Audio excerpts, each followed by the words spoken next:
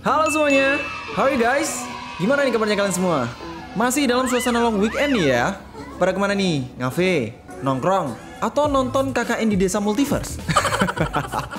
Jujur ya, gua aja belum sempet nonton dua film yang jadi perbincangan halayak ramai itu ya. Tapi nggak apa-apa karena belakangan ini emang gua jadi sering buat staycation ya. Makanya hari ini gua mau ajakin lo semua buat staycation virtual lagi. BTW, lu semua pasti heran ya, kenapa footage-nya dari tadi kok Discovery Mall singap? Karena villa staycation kita hari ini ada di dalam sini. Enggak dong. Kagak ada villa di dalam sini cuy. Tapi villanya tuh masih deket banget dari sini guys. Jadi cuma 2 menit aja jalan kaki. Dan harganya murahnya tuh nggak masuk akal. Cuma 500 ribuan aja udah bisa nginep di private villa with private pool. Gokil! So nggak usah ngomong mulu ya, langsung aja kita mulai videonya. Kuy!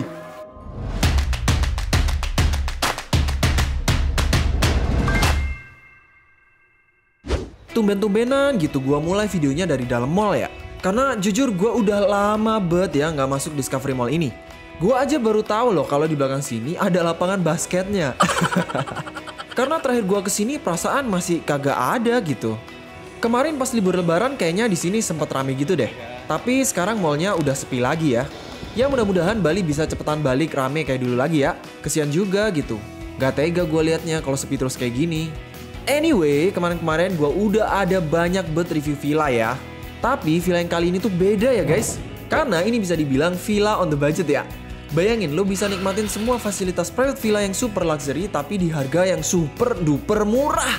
Apalagi kalau lo pesannya di aplikasi tiket.com. Udah murah jadi makin murah ya. Karena cuma di tiket.com yang banyak pilihan hotelnya. Harga jujur, tanpa biaya tambahan dan diskonnya banyak. Beli lebih murah di aplikasi tiket.com. Lo mau pesen hotel kapan aja dan berapa aja harganya, gue jamin pasti ada voucher diskonnya. Mantep gak tuh? Sering-sering dah lo cek sosmednya tiket.com karena mereka sering ngebagiin kode promonya di situ. Nih, gue juga nggak pelit ya. Gue mau bagiin kode diskon pesan hotel buat lo semua yang nonton video ini. Masukin kode UT500K pas lo pesan hotel di aplikasi tiket.com. Dan lo bakal langsung dapat diskon 10% sampai dengan 500 ribu dan vouchernya udah bisa dipakai dengan minimum pemesanan 300 ribu aja loh. Mantap banget kan? Lo bisa pakai vouchernya sampai 30 Juni 2022 untuk periode menginap kapan pun. Buruan pakai vouchernya sekarang karena hanya bisa dipakai satu kali per pengguna di hotel-hotel tertentu yang ada di Indonesia. Jangan sampai nggak kepake ya promonya. Main tuh bisa dipakai buat healing tipis-tipis staycation di akomodasi estetik yang ada di kota lo, iya kan? Detail vouchernya gue taruh di bawah ya. Jadi lokasi villanya tuh nggak persis ada di seberang Discovery Mall ya. Mesti agak jalan dikit kira-kira 400 meteran lah. Tapi pastinya nggak bakal kerasa karena jalan-jalan di daerah Kartika Plaza ini pastinya manjain mata banget ya. Banyak pelapa, bule-bule, dan orang-orang lokal yang bakal nawarin lo dagangan mereka. Nah, kalau di seberang jalan lo udah ngeliat ada tulisan Jalan Taman Sari gini, lo tinggal masuk aja. Ntar di sepanjang jalan kecil ini lo bakal ngeliat banyak banget neon box yang tulisannya 18 Suites Villa Love at Kuta. Nah itu tandanya lo udah berada di jalan yang benar ya. Sedikit tips nih buat yang jalan kaki nih ya. Hati-hati karena di sini banyak anjing di gangnya ya. Tapi tenang aja mereka jinak kok.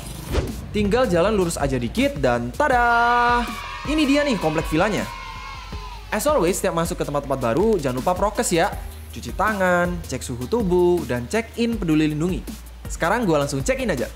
Lobbynya di sini kecil aja ya guys. Kalau gue lihat sih lebih mirip kayak ruang tamu rumah gitu. Ada beberapa kursi-kursi buat nongkrong dan juga beberapa buku yang bisa kalian pinjam sendiri dari rak yang ada di sini. Tapi jangan dibawa pulang ya. Kalau habis baca, jangan lupa dikembaliin supaya yang lain juga bisa pinjam. Nah sekarang gue mau langsung check in aja. Seperti biasa bakalan diminta KTP dan tanda tangan form. Abis itu gue langsung dapat kunci villanya. Nah kuncinya di sini tuh nggak pakai keycard ya guys, masih pakai kunci manual karena emang ini buat ngunci pintu kayu yang ada di villanya. Jalan lagi ke dalam, lo bakal ngeliat lorong menuju villa-villanya yang kanan kirinya ada pohon super estetik kayak gini. Jadi berasa vibes wedding ya.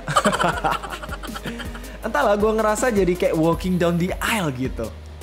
Nah, villa gue ada yang di nomor 3 nih. Pas masuk ternyata dalamnya luas guys dan berasa hijau banget ya. Karena di dalam sini tuh banyak tanaman dan bahkan ada pohon Kamboja juga loh.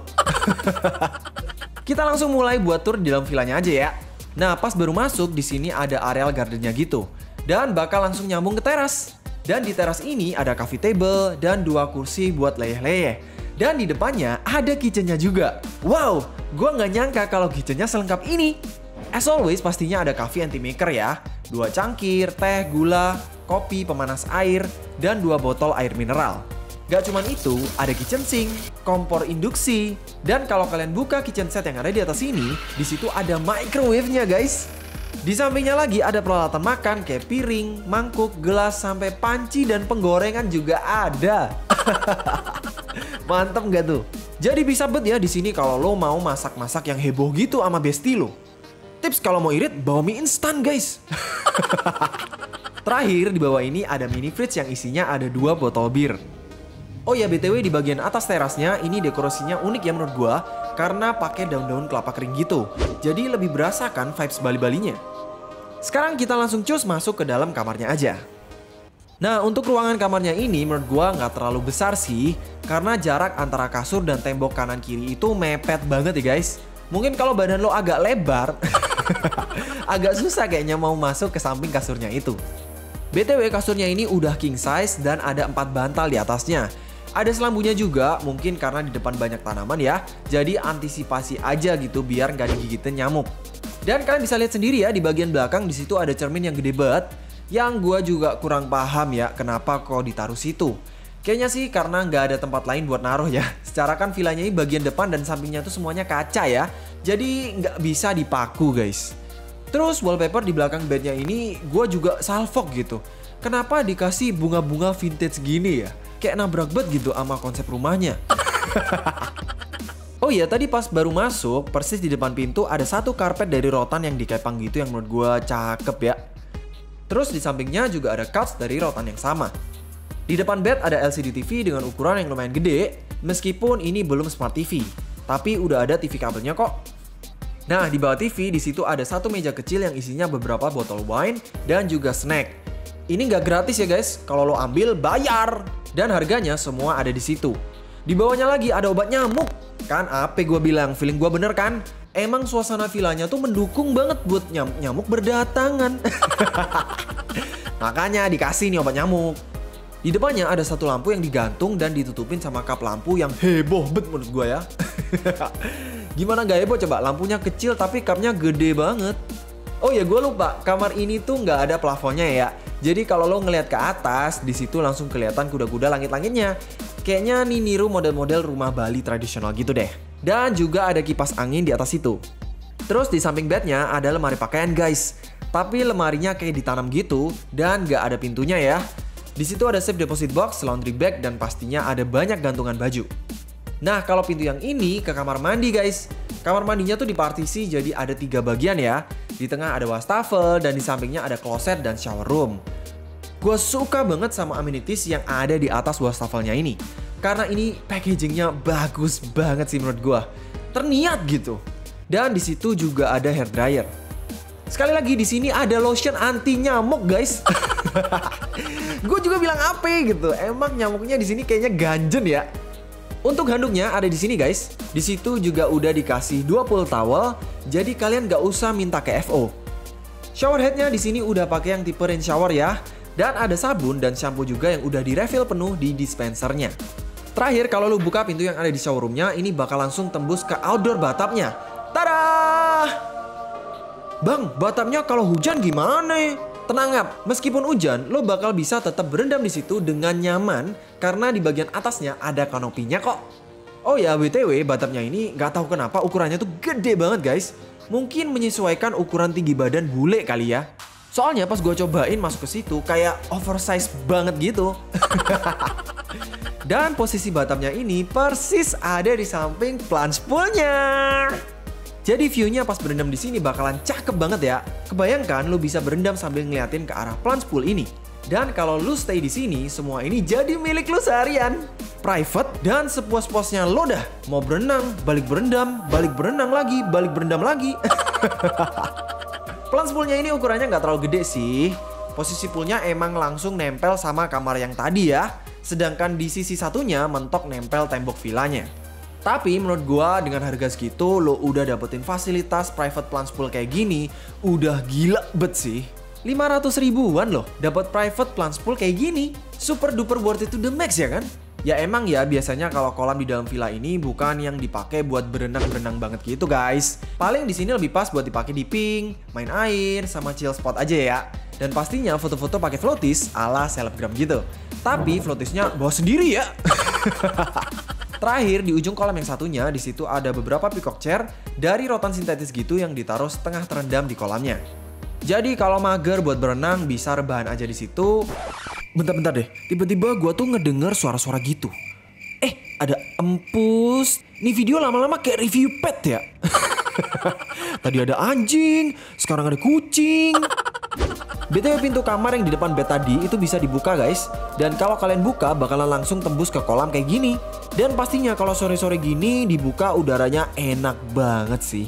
Dan sirkulasi udara di kamar juga jadi lebih bagus. Tapi kalau malam saran gue mendingan ditutup aja sih. Ya gitu aja ya tur di villanya. Dan seperti biasa sore gini waktunya berenang. Gua sih sempat nyobain berenang di plus pool villanya ya. Tapi karena menurut gue kurang greget gitu, jadi gue pindah ke public pool yang ada di depan. Oh iya gue lupa mention ya Tadi di depan hotelnya ada kolam renang lagi guys Yang lebih gede Kolam renang ini lokasinya persis di depan lobby yang tadi Dan pastinya ukurannya jauh lebih besar dibanding pool yang ada di dalam villa Tuh lihat deh Di tengah kolamnya juga ada pancuran airnya dua biji Dan ada banyak kursi-kursi dari rotan sintetis juga di samping-sampingnya dan kalau lapar bisa juga order light meal ke kitchen yang ada di sini. Ini kolamnya nggak terlalu dalam ya. Gua juga kagak tahu persis dalamnya berapa sih. Cuman yang pastinya jangan lompat-lompat lah di sini. Kecetekan cuy. Ntar yang ada malah sakit semua badan lo. Entahlah ya, kalau gua sih lebih seneng kalau renang di kolam yang gede gitu, yang proper kayak kolam ini. Soalnya kalau renang di kolam yang kecil-kecil kayak di villa yang tadi, kayak cuman main air doang gitu. Abis berenang jangan lupa bilas dulu ya sebelum balik ke villanya. Uh, maaf, gue sensor ya guys, karena gue terlalu seksi gitu buat jadi konsumsi publik ya. Canda besti. Dan abis berenang udah malam aja ya kan? Ya beginilah suasana villanya pas malam hari. Semua lampunya pada nyala dan suasana di villanya jadi syahdu bet ya.